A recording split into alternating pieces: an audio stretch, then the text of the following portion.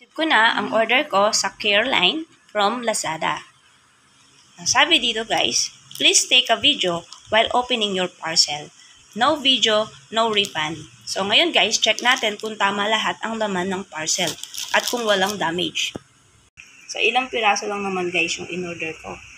So check natin kung walang damage.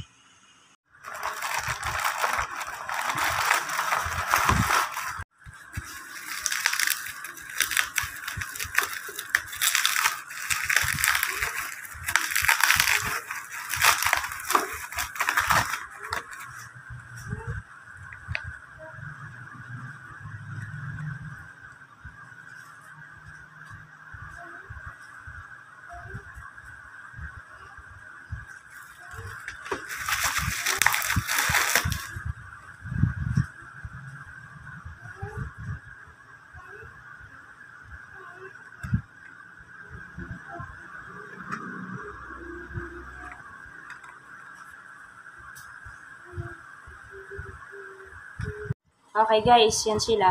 So walang damage, walang problem. So thank you Caroline. Mukha naman good yung quality nila. Actually subok ko na to.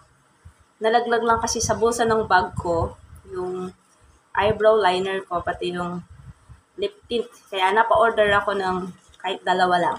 Ayan, so so very good. So thank you. Thank you Caroline. Thank you Lazada. Okay, so buksan natin sila guys.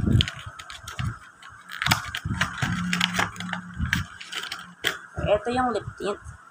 So, ganito siya. Yan.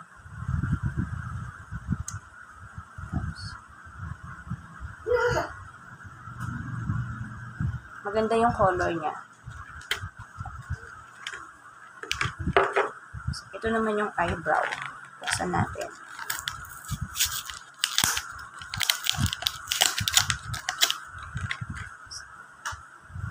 Siya.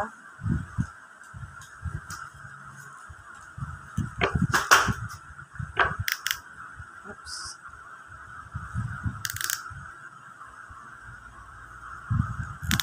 So, naka-shape. Naka-shape na siya pag in-apply mo siya sa kilay. Ayan siya. Ayan siya, guys. Diba? Ang cute. Hindi ka na mahirapan mag-apply sa kilay mo. Kasi mag-shape na siya agad. And yung lip tint ko, okay siya. Ngayon, first time kong itry yung ganitong color. Try natin. Dito. Ayan. So, yun lang guys. Thank you guys. Thanks for watching.